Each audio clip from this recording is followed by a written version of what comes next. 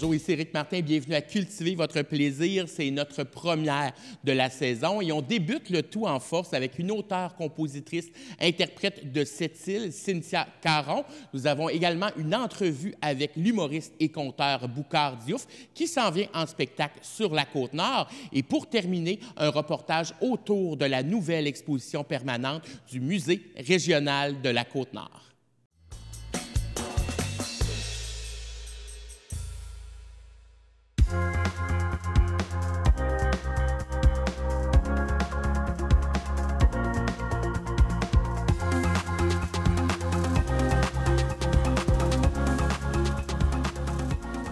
Bonjour Cynthia. Bonjour. Donc, tu as dévoilé cet été ton premier album.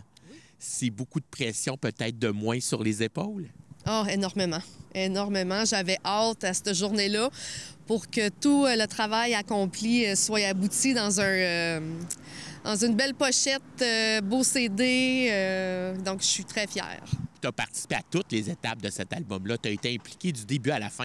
Oui, impliquée du début à la fin au niveau de l'écriture, au niveau de la musique, euh, des images choisies, euh, publicité. euh, donc, dans le fond, vraiment impliquée de A à Z. J'en ai fait beaucoup, beaucoup, beaucoup. Tu sais que j'avais vu une entrevue avec un autre média où tu, tu parlais justement de la maison. Tu as un studio en quelque sorte. Oui, exactement. J'ai un studio, euh, mon clavier, mes logiciels, mes micros. euh, dans le fond, Euh, j'ai essayé de faire ça euh, le plus euh, conviviable chez nous, être confortable pour enregistrer, à place de vouloir me déplacer parce que, veux, veux pas, on est en région ici. Donc, me déplacer aux deux semaines ou aux trois semaines à Montréal ou quelque chose comme ça, je trouvais ça pas pertinent. Puis ça m'a coûté vraiment moins cher de m'équiper chez nous aussi que de faire tous ces voyages-là et de louer tant à l'heure une, une salle, dans le fond, de location pour, euh, pour créer l'album. Ben, avant de parler justement du titre de l'album et du vidéoclip qui l'accompagne, je voudrais savoir un peu euh, le travail que ça représente. Parce que toi, tu mets en image aussi toutes tes chansons, ou la plupart, tu les as déjà mis en image. C'est un médium ou un média que tu sembles apprécier beaucoup, le vidéoclip. Oui, vraiment. C'est euh, beaucoup de travail aussi, mais il y a beaucoup de... Quand vous mettez une image, ça donne d'autres, euh, une autre ampleur, si on veut. Et, donc, on va parler maintenant du titre, celle qu'aujourd'hui tu vois. Moi, déjà en partant, j'ai une idée du pourquoi du titre, mais je veux que tu me le dises dans tes mots à toi. Ben dans le fond, euh, celle qu'aujourd'hui tu vois, c'est moi, la femme de 42 ans qui a maintenant concrétisé le rêve d'une petite fille euh, de faire un album. Donc, euh, la somme de toutes mes expériences vécues que j'ai écrites euh, dans euh, toutes les, les chansons qu'il y a sur l'album.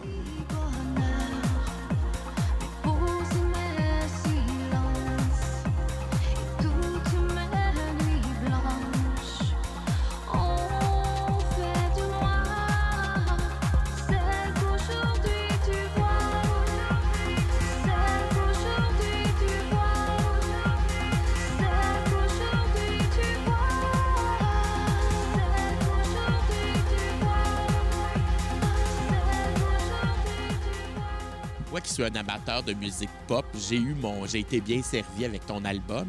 Est-ce que tu as des artistes qui t'ont influencé? Oui, eux autres qui me connaissent, ils savent très bien que mon idole, c'est Madonna. Autant pour euh, création artistique, musique, chorégraphie, la danse, euh, tout ce qui est euh, l'art de la scène, j'adore ça. D'où on peut faire le lien avec les drag queens qui figurent sur ton récent vidéoclip, celle qu'aujourd'hui tu vois. Oui, exactement. J'ai voulu impliquer euh, plusieurs différentes choses au niveau de l'album. C'est-à-dire que j'ai même une chanson qui a un refrain en inou. Euh, j'ai une chanson version country. Euh, on parle aussi euh, des relations entre femmes et femmes, dont You and Me, une version anglaise, donc Oui. aussi des chansons anglaises. Donc j'ai voulu faire un mélange de tout ça, actualité, qui, qui m'a rejoint beaucoup. Trouve qu'il y a une belle énergie qui se dégage de cet album-là. Puis tu as eu d'autres vidéoclips auparavant. Tu as eu nous, nous à jouer dans les radios, mais présentement, celle qu'aujourd'hui tu vois, ça joue sur la station locale à cette île. Oui, absolument. Arsenal Média Plaisir 94,1. Euh, donc, euh, dans le fond, je suis très, euh, très euh, contente euh, que euh, la, ma région, dans le fond, me joue. Euh, ça, euh, c'est un beau cadeau. Pour te suivre sur le web, j'ai vu l'excitation que tu as eue lorsque tu as entendu ta chanson pour la première fois à la radio on a l'impression que c'est un cœur d'enfant. Oui, oui, vraiment. Vraiment, moi, je, suis comme un, enfant, là. Je vous ai dit que j'ai passé peut-être un an et demi à faire cet album-là, mais c'était un an et demi de gros travail, mais de énorme plaisir. C'est la petite fille euh, qui qui avait du fun là, au bout. Là. Puis euh, je vais continuer, là, même si l'album est fini. euh, Il y a d'autres choses qui s'en viennent. T'es la preuve qu'une artiste en région peut tout de même se lancer en musique. Mais j'imagine, tu le disais tantôt, il y a quand même son lot d'inconvénients au niveau des déplacements et autres. Oui, exactement. Il y a son lot de, de déplacements. D'ailleurs, je m'en vais faire un déplacement dans un mois pour une autre chose que je veux pas dévoiler tout de suite, mais c'est euh, une suite à l'album. Donc, euh, c'est aller à Québec, les frais et tout ça. Euh, mais euh, quand on aime ça, euh, on ne regarde pas les dépenses. Hein? Ça devient comme. Tu le dis, c'est une passion. C'est pas un simple loisir, c'est une passion. C'est peut-être là qu'est la différence. Et dans le fond, tu aimes ça l'exporter puis le faire entendre. Puis moi, tu parlais tantôt de country un peu. Tu as, quand même fait un, un certain, je peux pas appeler virage country, mais c'est un style aussi que tu apprécies beaucoup. Oui, absolument. Puis c'est comme ça qu'on m'a connue, si on veut, parce que j'ai commencé à Nashville, à la Côte-Nord, avec euh, l'Espoir puis Down by the Sea, qui jouent régulièrement, qui a fait un écho en France, puis que autres, ont voulu que je chante leurs chansons, puis tout a déboulé comme ça. Donc c'est un peu grâce au country aussi.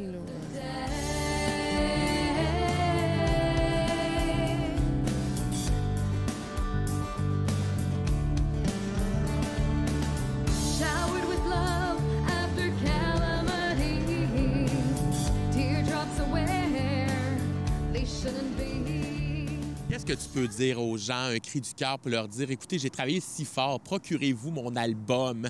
Oui, procurez-vous mon album. Ça me fait super plaisir. Puis aussi avoir euh, des petits messages, des fois sur Facebook, tout ça. J'adore ça. Des petits likes, euh, des partages de vidéoclips que sur, mon YouTube. Si vous voulez vous procurer mon album, euh, ça se vend, c'est au dépanneur chez Arthur. Donc, moi, en étant un artiste local, j'aime ça, encourager local. Donc, c'est dépanneur chez Arthur qui vend mon album. C'est au Tuxedo, ici à Sept-Îles, que j'ai fait mon lancement d'album. Donc, euh, je pense que c'est- de l'entraide aussi euh, entre. Oui, puis tu renies pas tes racines premières, effectivement. Merci beaucoup, Cynthia. Ben, ça me fait très plaisir.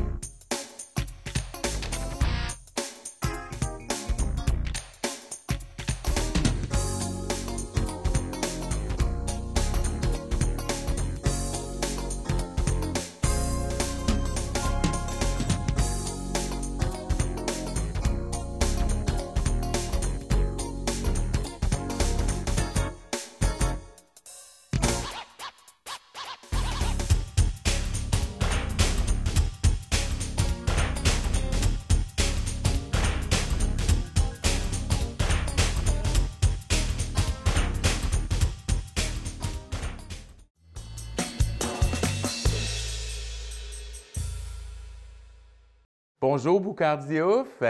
Allô Eric, ça va bien? Oui, tout à fait heureux de vous savoir en tournée avec votre spectacle. Et ça s'en vient chez nous sur la côte nord. Euh, Tout de suite, d'entrée de jeu, la première question qui me vient à l'esprit, c'est Nomo sapiens. J'imagine que ça vient d'Homo sapiens. Oui, exactement, c'est un mélange en fait, parce que Homo sapiens, dans, dans le langage de Linné, Homo sapiens, ça veut dire l'homme sage, c'est l'homme sage. Puis je dis souvent aux, aux gens dans la salle, regardez, celui qui fait les classements a décidé que lui était l'homme sage. Ça veut dire qu'il ne se prend pas pour de la marde, pour vrai. Donc, Homo sapiens, c'est l'homme sage. Et moi, j'ai dit, à côté de Homo sapiens, il y a Nono sapiens. C'est l'homme nono, le cabochon. Le Ah, je ne l'avais pas vu comme ça, effectivement. Oui, C'est et très là, Nomo, c'est le mélange des deux. Le mélange du sage et du cabochon qui se met en chacun de nous à différents degrés. C'est un peu ça l'idée du titre. hein. Quand on choisit un titre de spectacle, Boucard, est-ce qu'on est y va en fonction du contenu du spectacle? Oui, absolument. Mais des fois, les gens préfèrent beaucoup, les, Eric, les gens préfèrent les, les titres qui sont très racoleurs. Tu dans le milieu de l'humour. Moi, je, je suis un peu champ gauche, donc des fois, je choisis des titres. C'est Nomo Sapiens. Je dis aux gens, moi, même si j'avais vu sur une affiche Nomo Sapiens, je n'irais pas voir ça, c'est sûr. hein. Mais les gens ont la curiosité de venir voir mon spectacle. D'avant, s'appelait Mac Togoek qui est le nom que les Algonquins avaient donné au fleuve Saint-Laurent. Donc, et j'aime beaucoup de mettre une espèce de, de, rendre mon titre un peu énigmatique. C'est pas vendeur, mais j'aime beaucoup faire ça. Donc, mais c'est toujours en rapport avec ce qu'on aborde parce que le spectacle porte beaucoup sur euh, le, côté intelligent de l'espèce humaine, euh, son rapport à la femme, euh, parce que c'est un spectacle qui parle beaucoup de féminisme aussi indirectement. Et euh, ça parle aussi du cerveau, c'est les dérives de l'intelligence. Parce que l'intellect, ce n'est pas l'intelligence. L'intelligence, ça ne peut pas être vivre sur une planète que tu détruis disant je suis intelligent. Ça, c'est de l'intellect. Oui, c'est de l'intellect, comme disait James de l'intellect et l'intelligence, c'est pas pareil. Ce que j'adore, Boucard, c'est le fait que tu es un artiste multidisciplinaire. Tu es à la fois humoriste, tu es à la fois conteur, tu as été scientifique, je ne sais pas si tu en fais encore un peu. Tu as ces multiples chapeaux, puis j'ai l'impression que tu utilises l'humour comme un moyen de transmettre des connaissances. C'est pas du Oui. contenu vide. Oui, non, mais je pense qu'il y a une grande part de vérité dans ton affirmation parce que j'ai toujours dit, moi, pour survivre dans l'humour, il faut que je, je puisse faire quelque chose que les autres ne font pas. Puis, puis c'était ma voie, mon chemin de garnotte, comme je dis. J'ai choisi mon chemin de garnotte parce que la garnotte, les gens de la Côte-Nord connaissent ça, c'est des gars de bois. tu Oh sais. oui, oh oui. Le chemin de garnotte de Boucard, c'est de dire, je vais quand même passer des connaissances dans mon spectacle. Les gens vont rire beaucoup, mais ils vont entendre parler des chimpanzés, des bonobos, de la place de la femme, de l'homme. Et quand ils viennent, les gens qui viennent voir mon spectacle, ils s'attendent à ça. OK? Donc, tu disais, est-ce que je suis encore scientifique? Ben, tout ce que je fais, c'est de la science. Au moment où on se parle, j'écris des bouquets de science. J'anime, euh, ça fait 11 ans que j'anime une émission à la radio qui s'appelle La nature selon Boucard, de la science. Euh, je fais des documentaires scientifiques pour Radio-Canada, dont le dernier qui va sortir, qui s'appelle 8 milliards d'insatisfaits. Donc, je suis encore plus scientifique, je pense, aujourd'hui que je l'étais quand j'étais à l'université. Eh bien, c'est très intéressant très pertinent. Puis ça nous fait voir à quel point tu es, un homme ou un artiste qui est curieux, qui est à l'affût de ce qui se passe autour de lui et non pas centré. J'ai l'impression que des fois, on, on reproche un peu ça à l'humour, d'être centré sur sa propre personne, de parler de soi. Oui. Non, oui, les humoristes, on ne se prend pas pour de la marde, nous aussi. hein. C'est une expression québécoise. J'ai jamais compris pourquoi on dit ça, là. Ça me fait toujours rire quand j'entends quelqu'un dire tu ne te prends pas pour de la marde. tu sais. La première fois qu'on m'a dit ça, je me disais, mais qui se prend pour de la marde pour vrai? Mais c'est vrai que l'humour est beaucoup centré sur je raconte mes affaires, ma blonde, euh, mon chien, mon, ce que j'ai vécu hier. Mais ça, je l'ai fait dans mes premiers spectacles, une ou deux fois. Puis après ça, je m'ennuyais. Puis j'ai dit, OK, Boucard, toi, c'est l'enseignement qui te passionne. Donc, si ta passion, c'est l'enseignement, la façon de survivre dans, dans l'humour, c'est d'amener l'enseignement dans l'humour. C'est ça que j'ai fait. Mes trois derniers spectacles, les gens qui les ont vus, et je suis passé ça à Côte-Nord à chaque fois, les gens qui les ont vus savent aussi que c'est un petit cours. C'est pas didactique, Eric, mais il y a juste des, c'est saupoudré de petits trucs qui font que quand les gens sortent, ils disent, OK, je me suis dilaté la rate, euh, ça a touché mon cœur un peu, et puis mon intellect a été euh, sollicité un tout petit peu, juste un tout petit peu. Oui. Bien, intéressant, on sort de là avec de nouvelles connaissances, mais on n'a pas l'impression de s'être fait bourrer le crâne, si je peux le dire ainsi. Oui, ça ressemble à ça. C'est c'est juste dire, tu sais, la fameuse expression québécoise qui dit on va se coucher moins niaiseux à soir. Peux-tu nous parler Ah. de ton nouveau livre, Boucard, très rapidement, que tu viens de sortir sur les paroles de ta grand-mère? Oui, le, le livre s'appelle Les esprits qui dorment dans les semences. C'est ma grand-mère qui disait, qui était une agricultrice, donc des gens qui étaient tout le temps en train de soigner les plantes cultivées. Puis ma grand-mère disait parfois, Ah, Bouka, j'ai l'impression qu'il y a des esprits dans les semences qui nous contrôlent. Parce qu'on pense posséder ces plantes, mais en réalité, c'est- ce sont les plantes qui sont nos maîtres. Et j'ai trouvé ça toujours fantastique. Et euh, j'ai voulu revisiter un peu son affirmation dans ce livre où j'aborde l'histoire de plantes cultivées choisies, euh, comment ça a influencé la, la planète à tous les niveaux, niveau politique, géopolitique, la banane, le café, euh, le, le sucre. Et je pense que c'est, moi je crois que c'est, ça fait longtemps j'écris quand même des bouquins, mais je pense que c'est mon livre le plus achevé. Je pense. Oui. En tout cas, Boucard, on en aurait eu long à se dire, hein, parce que tu es vraiment quelqu'un de très intéressant, un artiste et un humain d'exception, je me permets de le dire, c'est un peu racoleur, mais c'est la vérité. Donc, euh, j'invite les gens à venir à l'une ou l'autre des représentations de ton spectacle Nono Sapien, rappelons-le, sur la Côte-Nord. Merci, Boucard. Eric, merci beaucoup.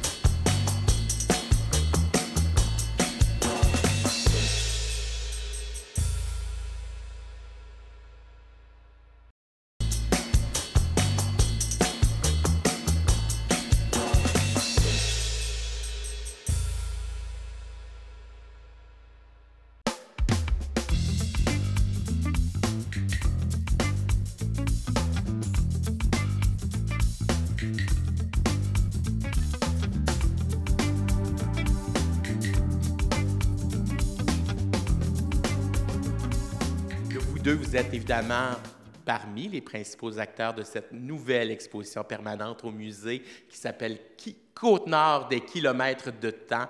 Parlons un peu du projet, comment ça s'est déroulé, Joanie? Oui, donc euh, le projet au départ, on avait des grandes lignes directrices. Euh, on voulait faire euh, les choses différemment. Il faut dire que l'ancienne exposition Terre de Sens était avec nous depuis plus de 18 ans maintenant. Donc les pratiques muséologiques ont évolué à travers le temps. On avait vraiment besoin d'un renouveau, mais on avait besoin de raconter l'histoire de la Côte-Nord autrement aussi. Donc, comme ligne directrice, par exemple, on voulait s'appuyer sur euh, les grands axes euh, du développement durable, c'est-à-dire euh, dans le temps, comment la société s'est développée, comment les rapports économiques aussi avec les ressources naturelles s'est développé et notre rapport passé et actuel avec l'environnement, mais tout ça aussi sous le couvert de la culture. Ensuite, on voulait aussi penser à comment on pouvait créer une exposition qui, dans le temps, puisse euh, se revaloriser, c'est-à-dire qu'à la fin du cycle de vie, qu'on puisse euh, recycler les matériaux, si on veut, puis avoir une plus faible empreinte, si on veut, sur l'environnement avec la construction de cette nouvelle exposition-là. On voulait aussi raconter l'histoire telle qu'elle s'est développée avec d'abord la présence autochtone sur le territoire et ensuite euh, la présence allochtone. Donc, euh, non pas dans des coins segmentés, mais comment elle s'est co- co-construite à travers le temps. Et on voulait aussi s'amuser dans cette exposition-là. Donc, euh, le pari, c'était qu'on pouvait jouer en apprenant sur l'histoire. Et je crois qu'on a quand même réussi. On a des beaux parcours qui s'adressent à plusieurs types de clientèle parce qu'on s'adresse quand même à un pu- public euh, général. Et euh, on comprend là-dedans les enfants, les adultes, les aînés, bon, etc.